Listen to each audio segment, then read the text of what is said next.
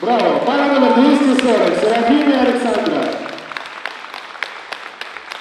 Спасибо большое, уважаемые участники.